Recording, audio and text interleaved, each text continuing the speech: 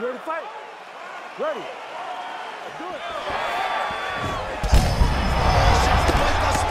How's his opponent still standing? I mean, I have no idea.